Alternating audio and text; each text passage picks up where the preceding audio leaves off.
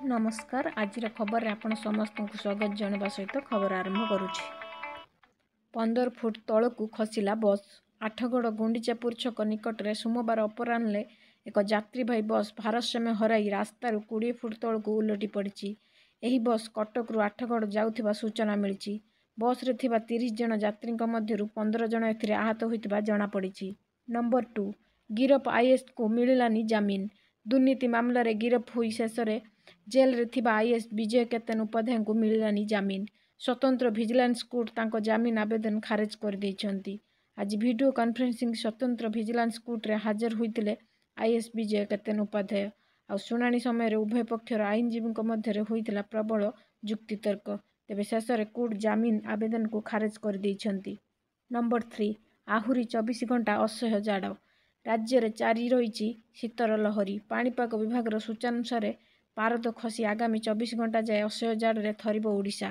ଅନୁଗୁଳ ଦେବଗଡ଼ ସୋନପୁର ବୌଦ୍ଧ ଓ ବଲାଙ୍ଗୀରରେ ଶୀତ ପ୍ରକୋପ ଅଧିକ ରହିବାର ସମ୍ଭାବନା ରହିଛି। ରାଜ୍ୟବାସୀ ଜାଡ଼ରୁ ରକ୍ଷା ପାଇବା ପାଇଁ କଲବଲ ହେଉଛନ୍ତି। କେଉଁଠି ଚା ଦୋକାନରେ ଲୋକଙ୍କ ଭିଡ଼ ତ କେଉଁଠି ନିଆଁ ପୁଆଉଥିବା ଚିତ୍ର ଦେଖାଦେଉଛି। ନମ୍ବର ଫୋର୍ ରାଜା ହେଲେ ଜିଲ୍ଲାପାଳ।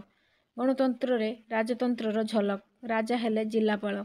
ବସିଲା ରାଜଦରବାର। ଜଣେ ପରେ ଜଣେ ପ୍ରଜା ମହାରାଜଙ୍କୁ ଦୁଃଖ ଜଣାଇଲେ। ରାଜା ତୁରନ୍ତ ଅଧିକାରୀଙ୍କୁ ସମସ୍ୟାର ସମାଧାନ କରିବାକୁ ନିର୍ଦ୍ଦେଶ ବି ଦେଲେ। ଜଗତସିଂହପୁର ଜିଲ୍ଲା ସିଦ୍ଧଳ ବଳଦେବ ଜୀଉ ମନ୍ଦିରରେ ଅନୁଷ୍ଠିତ ରାଜାଭିବେଶ ଉତ୍ସବରେ ଏଭଳି ଦୃଶ୍ୟ ଦେଖିବାକୁ ମିଳିଥିଲା। ରାଜା ଭାବେ ପ୍ରଜାଙ୍କ ଗହଣରେ ଶୋଭାଯାତ୍ରାରେ ଆସିଥିଲେ ଜଗତସିଂହପୁର ଜିଲ୍ଲାପାଳ। ନମ୍ବର ଫୋର୍ ଯମ ସାଜିଲେ ପୁଲିସ କନେଷ୍ଟବଳ। ମୁଁ ଯମ ହେଲମେଟ୍ ପିନ୍ଧି ପିନ୍ଧ ନଚେତ୍ ମୋ ଦ୍ୱାର ଖୋଲା ଅଛି। କିଛି ଏଭଳି କହି ଆଜି ସମ୍ବଲପୁରରେ ସଚେତନତା ବାର୍ତ୍ତା ବାଣ୍ଟିଛନ୍ତି ଜଣେ police constable. Sambalpur police jail ଛକଠାରେ ଟ୍ରାଫିକ୍ ସଚେତନତା ସପ୍ତାହରେ ଏଭଳି ଅଭିନବ ଉପାୟରେ ଆଜି ଲୋକଙ୍କୁ ଟ୍ରାଫିକ୍ ସଚେତନ କରାଯାଇଛି।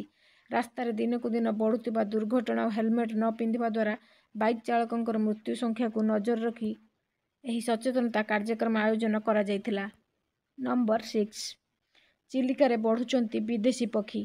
ଚିଲିକାରେ ବିଦେଶାଗତ ପକ୍ଷୀଙ୍କ ସମାଗମକୁ ଆଖି ଆଗରେ ରଖି ବାଲୁଗାଁ ବନ ବିଭାଗ ଚିଲିକା ଉନ୍ନୟନ କର୍ତ୍ତୃପକ୍ଷଙ୍କ ମିଳିତ ଉଦ୍ୟମରେ ଗତ ପାଞ୍ଚ ତାରିଖ ଦିନ ଗଣତି କାର୍ଯ୍ୟ ଶେଷ ହେବା ପରେ ସମଗ୍ର ଚିଲିକାକୁ ଚଳିତ ଏଗାର ଲକ୍ଷ ପାଞ୍ଚ ହଜାର ଚାଳିଶଟି ପକ୍ଷୀ ଆସିଥିବା ବନ ବିଭାଗ ପକ୍ଷରୁ କୁହାଯାଇଥିଲା।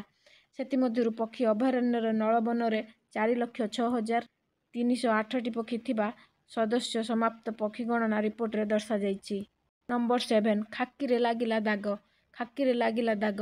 ଲାଞ୍ଚ ନେଇ ନିଲମ୍ବିତ ହେଲେ ତିନି ପୁଲିସ କର୍ମଚାରୀ। ଏହି ଘଟଣା ଘଟିଛି ସମ୍ବଲପୁର ଜିଲ୍ଲା ଅନ୍ତର୍ଗତ ଜୁଜୁମରା ଥାନାରେ। କାଠ ନେଇ ଯାଉଥିବା ଲୋକଙ୍କଠୁ କୋଡ଼ିଏ ହଜାର ଟଙ୍କା ଲାଞ୍ଚ ନେବା ଘଟଣାରେ ନିଲମ୍ବିତ ହୋଇଛନ୍ତି ତିନି ପୁଲିସ କର୍ମଚାରୀ।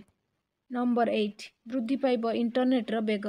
ଆସନ୍ତା ଜାନୁଆରୀ ସତରରେ ଦେଶର ସବୁଠୁ ଶକ୍ତିଶାଳୀ ସଞ୍ଚାର ଉପଗ୍ରହକୁ ଇସ୍ରୋ ପ୍ରେରଣ କରିବ। ଏହି ଉପଗ୍ରହ ଦ୍ୱାରା ଦେଶର ସଞ୍ଚାର ବ୍ୟବସ୍ଥା ଆହୁରି ସୁଦୃଢ଼ ହୋଇଯିବ। ଏପରିକି ଏହା ସାହାଯ୍ୟରେ ଦେଶର ନୂଆ ଇଣ୍ଟରନେଟ୍ ଟେକ୍ନୋଲୋଜି ଆସିବା ନେଇ ବାଟ ଫିଟିଯିବ।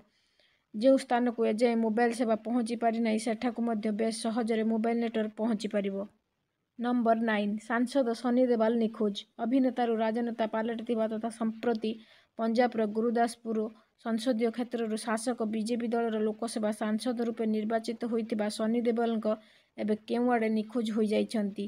ନିଖୋଜ ସାଂସଦ ସନି ଦେବଲଙ୍କର ସନ୍ଧାନ କରି ତାଙ୍କ ସମ୍ପର୍କରେ ଖବର ଦେବାକୁ ଉଲ୍ଲେଖ ଥାଇ ଏକାଧିକ ପୋଷ୍ଟର ଆଜି ପଠାନକୋଟ ସମେତ ପଞ୍ଜାବର ବିଭିନ୍ନ ସ୍ଥାନରେ ଲାଗିଥିବା ଦେଖିବାକୁ ମିଳିଛି।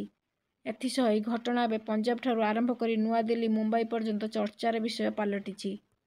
ନମ୍ବର ଟେନ୍ ଉତ୍ତରପ୍ରଦେଶରେ ନାଗରିକତା ଆଇନ ହେଲା ଲାଗୁ।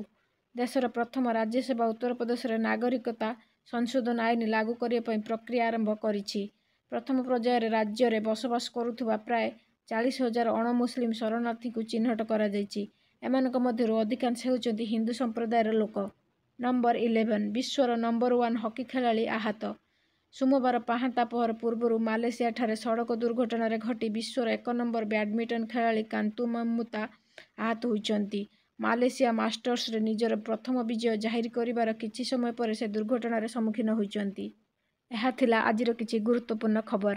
ଆଶା କରୁଛି ଆପଣମାନଙ୍କୁ ଏଇଟା ଭଲ ଲାଗିଥିବ। ରହୁଛି। ନମସ୍କାର।